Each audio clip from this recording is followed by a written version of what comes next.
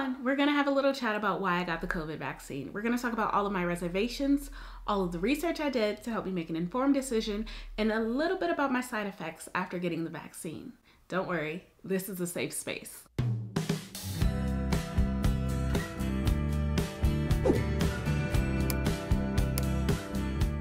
Hi everyone, I'm Danielle Denise and welcome to my channel.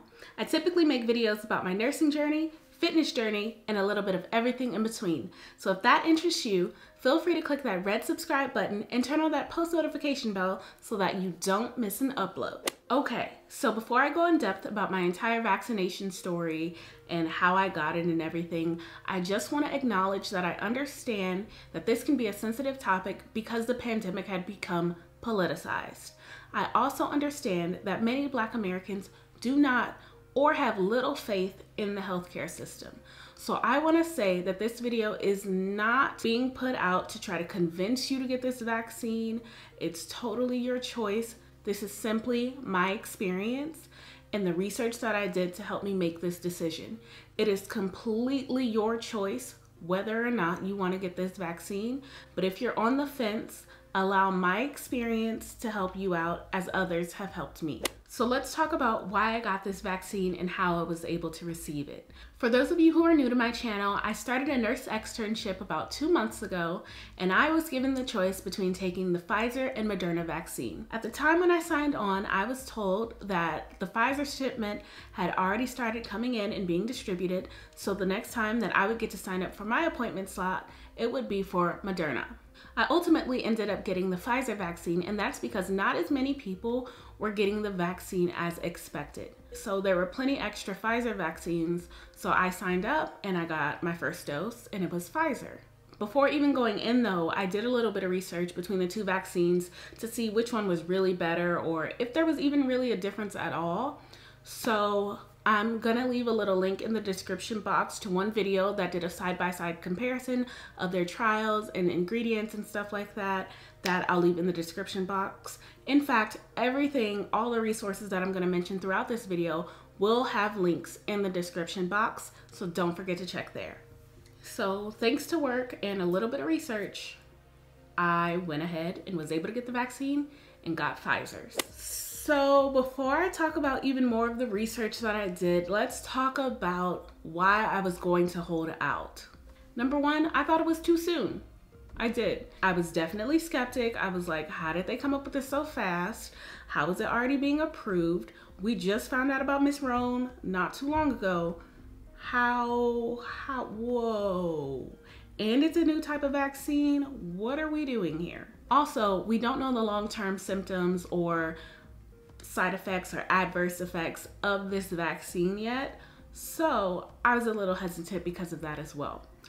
Also, if you don't know about the Tuskegee experiment, which was supposed to be a control trial using specifically Black Americans in that study, um, there was that. But I had some greater reasons as to why I wanted to get it. I was really leaning towards getting it because of the uncertainty of how my body would respond if I actually caught the virus.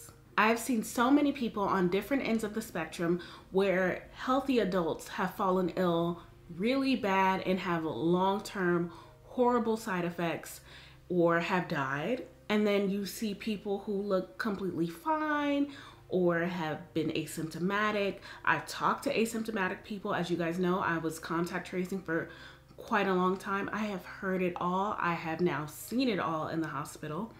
And it was just a lot to take in to finally be on the front lines and feeling like I don't want to end up like that. I don't want to play the guessing game of will I be like that.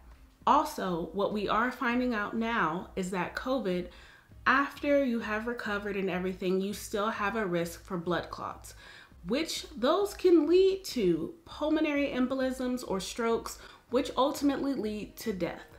So, another reason why I wasn't feeling like becoming infected with the virus. And then with the fact that I'm going to work now, I'm actually in the presence of COVID patients. I don't want to bring that home if I were to catch it. Like, I want to still see family, friends sometimes, you know, I don't want to bring that around anyone. I don't want to have that guilt of having it and having given it to somebody.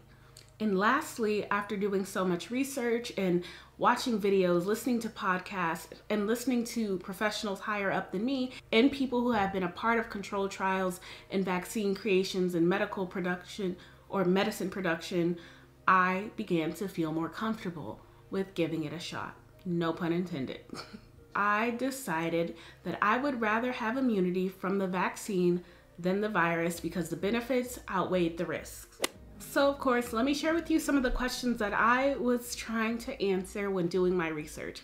I wanted to know what is this mRNA vaccine? How does it work? What's in it? Like, how did it come out so fast?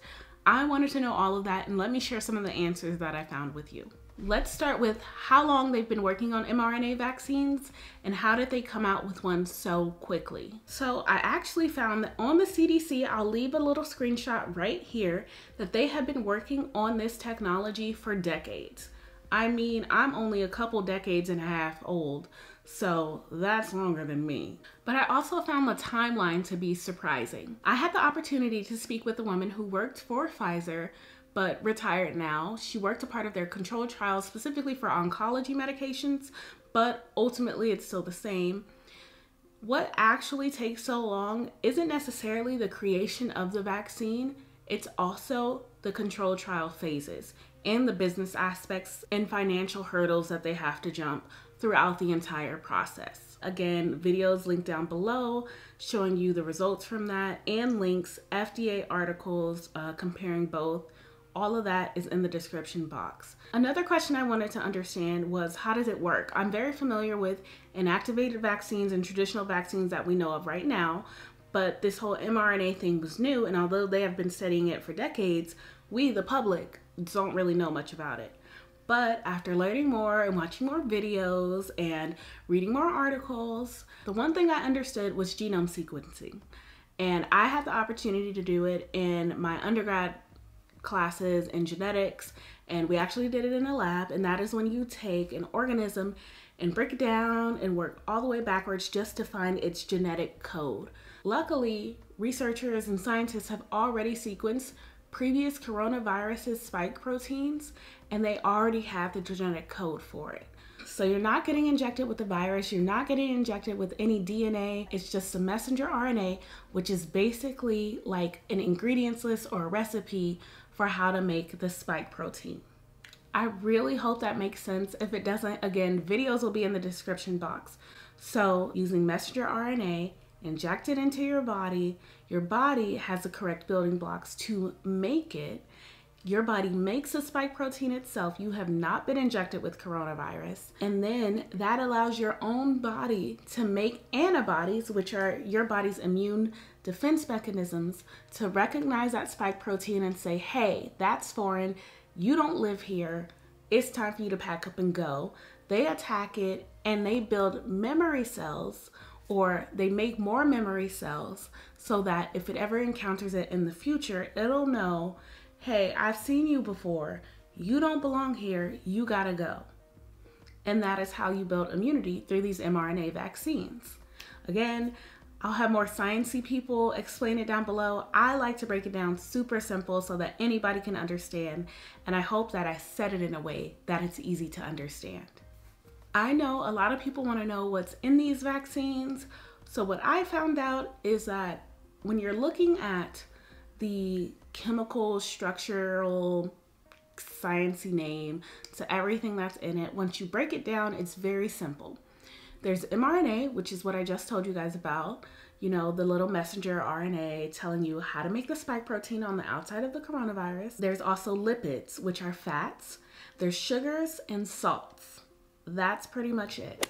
So let's talk about the symptoms or side effects I had after receiving the vaccine. So after my first dose, all I had was the sore arm and a little bit of fatigue. If you've ever had the flu vaccine, people will say that the pain in the arm is comparable to that. However, I think not. I thought I got punched in the arm several times with a knife.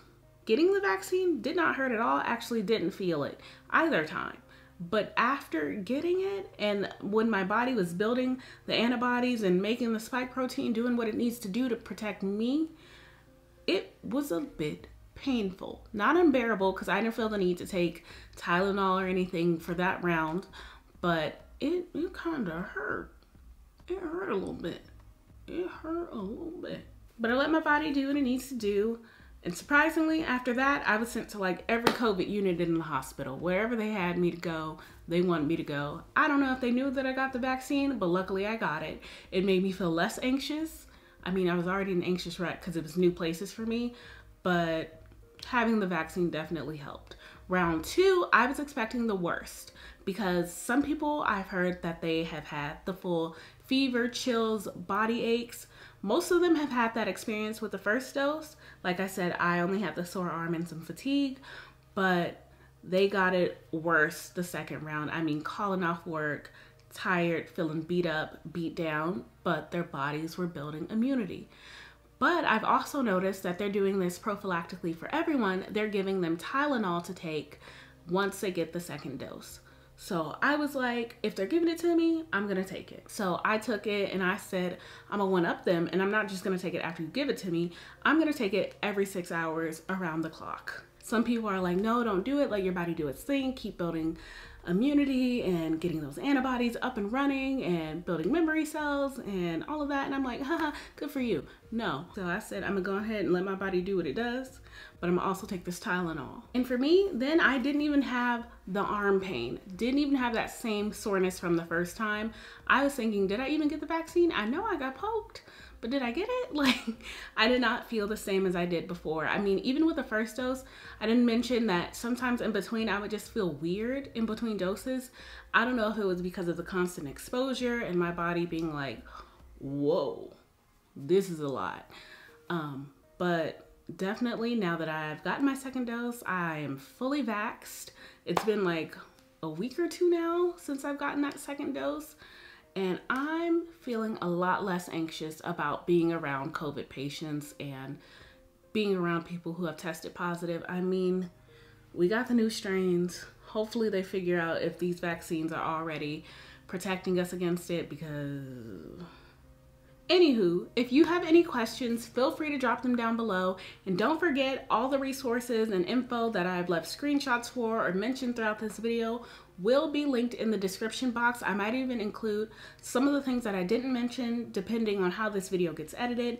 Don't worry, it's in the description box. Links to articles, links to brief um, info sheet, links to other YouTubers and podcasters that I listen to feel free to check the description box and I will see you in my next upload or the next zombie apocalypse. I don't know. Bye.